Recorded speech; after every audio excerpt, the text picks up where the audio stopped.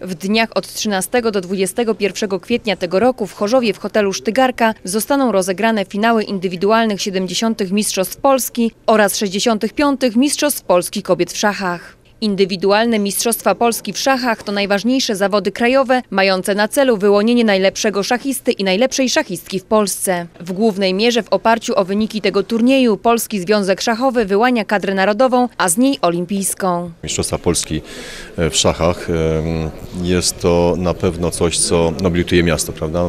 Oprócz promocji oczywiście, jaką tu ma miejsce też przy okazji, e, która się odbywa podczas tych mistrzostw, no niewątpliwie dla nas jest to naprawdę bardzo wielkie wydarzenie.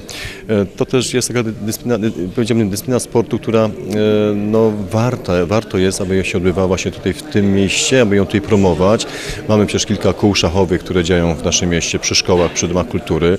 Chcielibyśmy, aby tą dyscyplinę jeszcze bardziej, że tak powiem, u nas w Chorzowie rozpro- rozpropagować, ponieważ co dużo mówić, no, uczy, uczy e, również e, kompromisu, uczy również porażek, uczy zwycięstw, uczy strategicznego myślenia, a tego byśmy też chcieli, żeby nasza młodzież, nasze dzieci, nasza młodzież, powiedzmy, takie nabyła.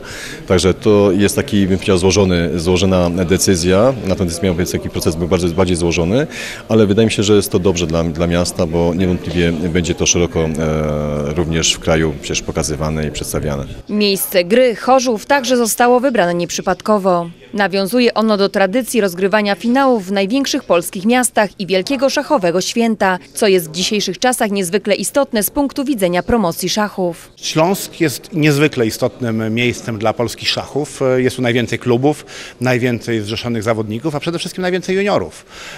A dodatkowym elementem jest to, że e, w tej chwili są tutaj niezwykle sprawni działacze, organizują wiele imprez na bardzo dobrym poziomie, w związku z czym jakby byliśmy spokojni, że to się uda. E, I był czas, żeby właśnie zrobić to na Śląsku, ponieważ no w Chorzowie Mistrzostwa Polski indywidualne nie były rozgrywane nigdy w historii, a to już 70 edycji Mistrzostw Polski odbyło się.